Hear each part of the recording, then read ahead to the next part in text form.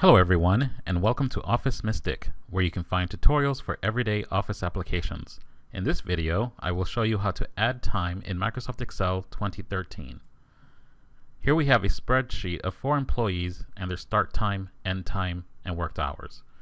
To calculate the number of hours worked, you subtract the start time from the end time by entering the equal sign, mod, open paren, C2 for the end time, minus b2 for the start time, comma, 1, close paren, and hit enter. Now you can see Robert worked for 4 hours from 9 a.m. to 1 p.m. To populate the rest of the column with this formula, you can hold down the bottom right hand corner of the cell and drag it down to the bottom. Or you can double click on the bottom right hand corner and it will quickly populate the rest of the column if you're getting different results, you have to check to make sure the format for the start time, end time, and worked hours are set properly. For the start time and end time, you can select the entries, click on the launcher in the number group within the Home tab, confirm that time is selected and the sample of 1.30 p.m. is selected, and then click OK.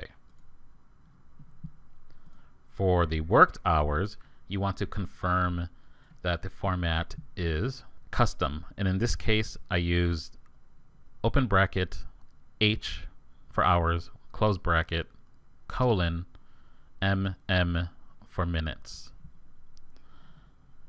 This formula, it will only give you the number of hours and exclude the AM and PM. And click OK. How people normally approach this kind of request, they will do the following. Let's just put in a title there.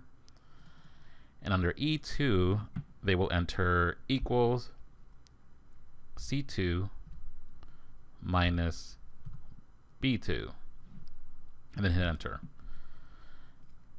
Now you see what happens when the proper format is not applied. So you want to go to the launcher and use the same format I described earlier. And to populate the rest of this column, you can follow the same step as before. Now, you will see Olivia has a row of number signs for her calculation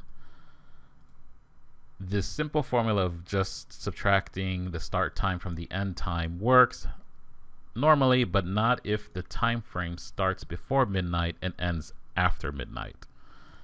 And in this case, it was Olivia starting at 8 p.m. and ending at 1 a.m. So in order to avoid this issue, you want to use the mod function, which can work with that um, time constraint. And so we're going to delete this column from this spreadsheet. If you have any questions about this tutorial, or if you have suggestions for future tutorials, please leave a comment below. Thank you.